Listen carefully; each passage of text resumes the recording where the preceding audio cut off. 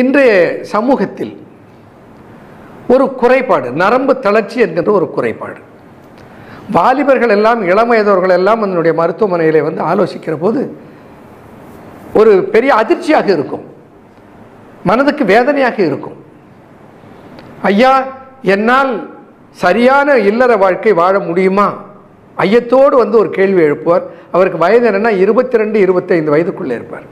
இதற்கெல்லாம் விடிவு உண்டா முடிவு உண்டா என்றால் அவர் சொல்லுவார் எங்கெங்கோ போய் எவ்வளவோ மருந்துகளை சாப்பிட்டேன் ஐயா. எத்தனையோ ஊசியெல்லாம் போட்டுக்கொண்டேன் ஒரு பயனும் இல்லை.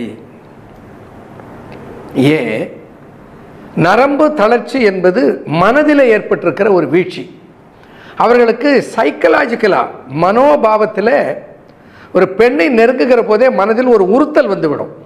நாம் வெற்றி பெறுவோமா தோற்று போவோமா? என்று ஒரு மனதுக்குள்ளே ஒரு குழப்பத்தோடவே அணுகிற போது அந்த குழப்பம் தோல்வியிலே போய் முடிந்துவிடும். நான் ஒரு முறை சொல்லியிருக்கிறேன்.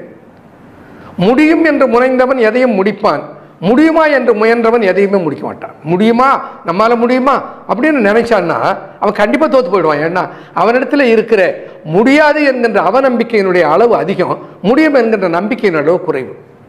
ஆனால் ஒரு காரியத்தை எடுத்து செய்ய போகிறேன். என்னால் முடியும். இதை அவரை செய்து முடிப்பேன். இந்த முடியும் என்று நினைக்கிறேன் அவன் முடித்தே தீருவான் என்று சொல்லியிருக்கிறேன். அதைத்தான் நான் நினைவூட்டுவேன். அது எல்லா காரியத்துக்கும் பொருந்தும். பணம் தேடுவதில் இருந்து எல்லா காரியத்துக்கும் அது பொருந்தும். முடியும் என்ற ஒரு வைராக்கியத்தோடும் வேகத்தோடும் ஒரு மனிதன் ஒரு காரியத்தில் ஈடுபட்டால் முடியாதது என்று ஒன்று இல்லை. Nothing is impossible if you think it is possible முடியும்னு நினைச்சா முடியாதுன்னு ஒன்று கிடையாது. அப்போது மனதளவிலே அவர்களை தயாரிக்க வேண்டியிருக்கிறது. ஒன்று. இரண்டாவது உடல் அளவிலே அவர்கள் தளர்ச்சி விட்டு விட்டார்கள் நரம்பு மண்டலம் க்ஷீணித்து விட்டது. அது சேதத்துக்கு ஆளாகிவிட்டது அதனோடு சேர்ந்து மனநிலையும் பாதிப்புக்கு ஆளாகிவிட்டது இளைஞர்கள் திருமணம் செய்து கொண்டு இன்னும் பலர் இன்றைக்கு ஒருவர் வந்தார். மிக வேதனையாக இருந்தது. திருமணம் செய்து கொண்டு மூன்று மாதம் ஆகிறது. இவரோடு நான் வாழவில்லை என்று சொல்லி அந்த பெண் இவரிடத்தில் இருந்து சென்று விட்டால் என்று வந்து க கண்ணீரும் கம்மலமாக சொல்லுகிறார். இதற்கு கீரைகள் இருக்கிறதா? சித்தர்கள் எதற்கு கீரைகளை சொல்லவில்லை. தளினன் முருங்கை தழை தூதுனம் பசலை. தாளினன் முருங்கை தழை தூதுனம் பசலை. வலிலரு கீரையும் நெய் வார்த்து உண்ணில் அழியன விஞ்சுவார். போகத்தில் வீம்புரைத்த பெண்கள் எல்லாம் கெஞ்சுவார் பின்வாங்கி கேள். ஒரு நயமான பாடல். தேரையர் அவ்வளவு நயம்பட இந்த இதற்கு ஒரு பாடலை ஒரு ஒரு வெண்பாவை அமைத்திருக்கிறார். நீ இவ்வளவுதான் ஐயா என்று உன்னை பார்த்து கேலித்த பெண்கள் வீம்பு உரைத்த பெண்கள் எல்லாம் பின்வாங்குவார்கள். எதற்கு?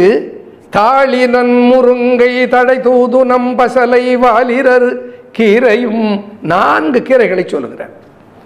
ஒன்று அருக்கீரை இன்னொன்று தாலிக்கீரை. அந்த கீரைக்கு பேரே தாலிக்கீரை. நான் தாலியினுடைய வடிவத்திலே அந்த இலை இருக்கும் கொடியாக படர்ந்து கொண்டிருக்கும். அந்த கீரையை பறித்து வாயிலை இட்டு மென்று சாப்பிட்டால் குழ குழ வென்று வெண்டைக்காய் சாப்பிடுவதைப் போல இருக்கும். சாப்பிட மிக ருசியாக இருக்கும். அது ஆண்மையை மேலோங்க செய்கிற ஆண்மை ஊக்கி. ஆண்மை மேலோங்கி இருந்தால் தான் தாம்பத்தியம் சிறந்தால் தான் இல்லறம் நிலைக்கும். இல்லைன்னா அந்த இல்லறம் நிலைக்காது. அது வள்ளுவன் சொல்லுவான் செல்லான் கிழவன் இருப்பின் நிலம் புலந்து இல்லாளின் ஓடிவிடும் என்று அவன் வேளாண்மையில கொண்டு வந்து ஒரு குரலை சொல்லுவான் இல்லற வாழ்க்கை எப்படி இருக்கணும்? செல்லான் கிழவன் இருப்பின் தான் பயிர் செய்திருக்கிற நிலத்தை சென்று அன்றாடம் பார்த்து வராத ஒரு ஒரு விவசாயி இருப்பானே ஆனால் அந்த நிலம் அவனுக்கு எப்படி பலன் கொடுக்காமல் போய்விடுமோ அப்படி மனைவியை அணுகாது இருக்கிற ஒரு கணவன் இருப்பானே ஆனால் அவளும் இவனோடு ஒத்து வாழ மாட்டாள். செல்லான் கிழவன் இருப்பின் நிலம் புலந்து இல்லாளின் ஊடிவிடும் என்று வள்ளுவன் சொல்லுவான். அது நாகரிகமாக நயம்பட இடக்கல் அடக்கலோடு மேடை நாகரிகத்தோடு இலக்கிய நயத்தோடு சொல்லப்படுகிற சொல். அப்படின்னா என்ன? சேராத வீடு வாழாது என்று அவன் அந்த பொருளை சொல்லுகிறார் அப்படி ஒரு அருமையான மூலிகைகளை சித்தர்கள் இல்லறம் தழைப்பதற்கு தாம்பத்தியம் ஓங்குவதற்கு என்று சொல்லி இருக்கிறார்கள் அதில் நான்கு கீரைகளை சொன்னேன். அந்த நான்கு கீரைகள் என்னென்ன? அவைகளை எப்படி பயன்படுத்துவது? தொடர்ந்து பார்ப்போம். கேரியர் சொன்ன நான்கு கீரைகளை குறிப்பிட்டேன். அதிலே ஒன்று தாலிக்கீரை இது ஐப்போமியா என்கின்ற ஒரு வகையை சார்ந்த கீரை. வேலியிலெல்லாம் படர்ந்திருக்கும். வெள்ளை நிறத்தில் பூ இருக்கும். கொத்து கொத்தாக இருக்கும். அந்த கீரையினுடைய வடிவமே நான் மகளிருக்கு சூட்டுகிற தங்க தாலி இருக்கிற அந்த தாலியினுடைய வடிவத்திலேயே அந்த கீரையினுடைய வடிவம் இருக்கும். அதனால் அதுக்கு பேரே தாலிக்கீரை இல்லறத்தை சோபிக்க செய்கிற கீரை தாலிக்கீரை அடுத்த கீரையாக சொன்னான் பிரம்ம விருட்சம். பிரம்மாவினுடைய தொழில் சிருஷ்டித்தல். சிருஷ்டிப்பதற்கு தேவை சரியான தாம்பத்தியம். தாம்பத்தியத்தை மேலோங்க வைக்கிற சக்தி இருப்பதனாலே அதற்கு பேர் பிரம்ம விருட்சம்.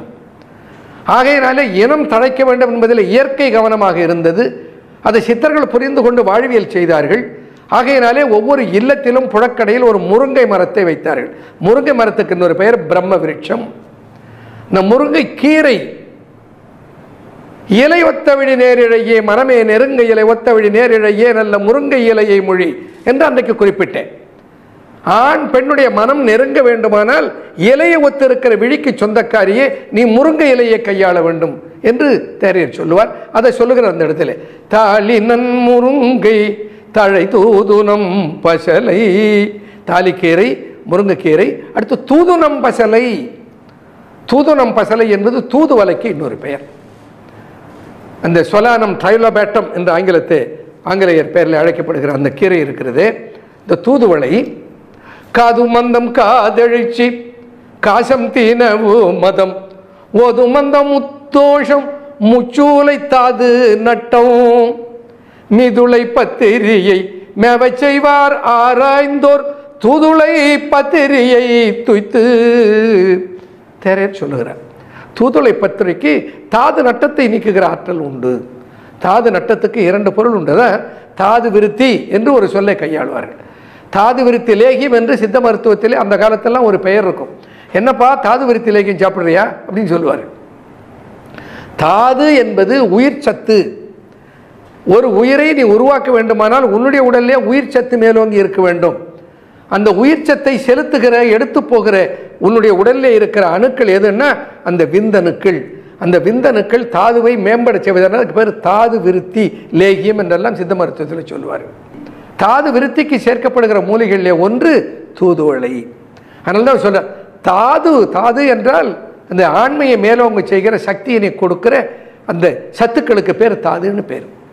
அந்த தாதுவை எதிலே இருக்கிறதாம் தூதுவளையில் இருக்கிறது. அதனால தான் இந்த நான்கு கீரையில் எத்தனையோ கீரை இருக்கிற போது தூதுவளை கீரையை அதில் சேர்த்தார்கள் தாலிக்கீரையை பற்றி பார்த்தோம் முருங்கைக்கீரையை பற்றி பேசினோம் தூதுனம் பசலை என்று சொல்லுகிற தூதுவளை கீரையை பற்றி சொன்னோம் இந்த தூதுவலையை எப்படி சாப்பிட வேண்டும்? சித்தர்கள் அதிலே மிக கவனமாக இருந்திருக்கிறார்கள்.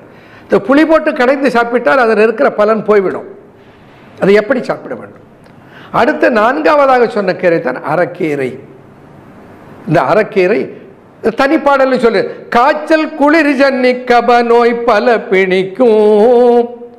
காய்ச்சல் குளிர் ஜன்னி கப நோய் பல பிணிக்கும் வாய்ச்ச கரியாய் வழங்கும் காண் வீச்சாய கருவுமோ வாயுயினும் காமம் மிக உண்டா. காமம் மிக உண்டாம். அரைக்கீரையை தின்று அறி. அரைக்கீரையை சாப்பிட்டு தெரிந்து கொள். அதனால் இந்த நான்கு கீரைகளாக பிரதானப்படுத்தியது தாலிக்கீரை முருங்கைக்கீரை தூதுவளைக்கீரை அரைக்கீரை. தாளினன் முருங்கை தடை தூதுனம் பசலை வாலில் அருகீரையும் நெய்வார்த்து உண்ணில் மிக முக்கியம் அதான் இந்த கீரைகளை நெய்யிலே பொரியல் செய்து சாப்பிட வேண்டும். நூறு கிராம் சின்ன வெங்காயத்தை எடுத்து தோலை நீக்கிவிட்டு பொடியாக நறுக்கி வைத்துக் கொள்ளுங்கள். நூறு கிராம் அரைக்கீரை எடுத்து நன்றாக அலம்பி விட்டு அதையும் பொடியாக நறுக்கி வைத்துக் கொள்ளுங்கள். ஒரு அரை தேக்கரண்டி நெய்யை ஒரு வானல்ல வாய்த்து அடுப்பை சூடு பண்ணி அந்த நெய் சூடாகி உருகிய பக்குவத்தில் அதிலே கொஞ்சம் கடுகு உளுத்தம்பருப்பு வரமிளகாய் இந்த வரிசையிலே போட்டு அது பொரிந்த பின்னால் சின்ன வெங்காயத்தை போட்டு அதில் அப்படியே வதக்கி அது கொஞ்சம் ரோஸ் கலராக கொஞ்சம் நிறம் மாறிய உடனே பொன்னிறமாக போயிடக்கூடாது.